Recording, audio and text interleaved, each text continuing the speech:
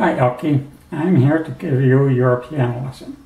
Now, I talked to Richard and I told him I think that you can do much more complicated piano than you have been doing so far. So I talked him into giving you the first part of Lady Madonna, two hands. Just the very first part of it. Now, um, I can't do it myself because my hands aren't big enough but I'll call him and have him do it for you. Just a minute. Richard! Richard! Elke's waiting, come on. Here he is. He's going to do it right now.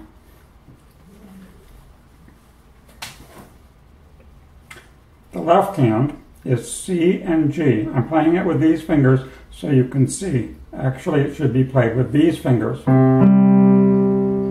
I'm going to play it with these fingers. The left hand goes like this. That's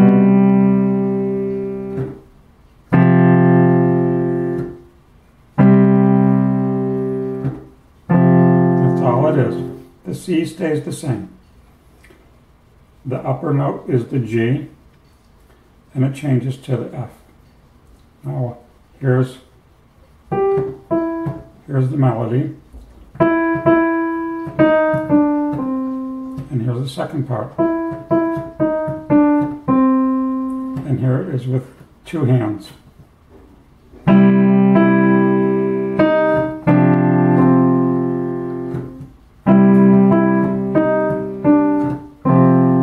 Now the interesting thing about this is that the first and second parts are similar, but they're not exactly the same.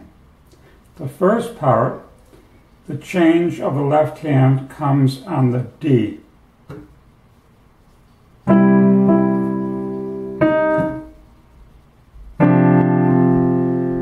The second part, it comes on the C.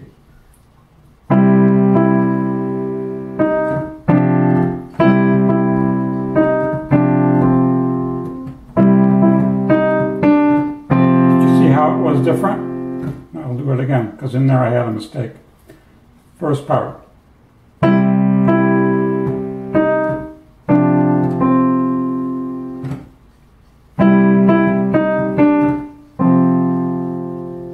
One more time.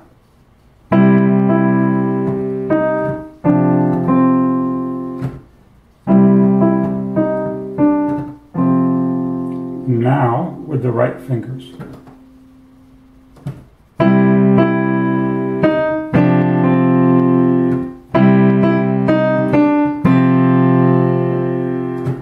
That a try.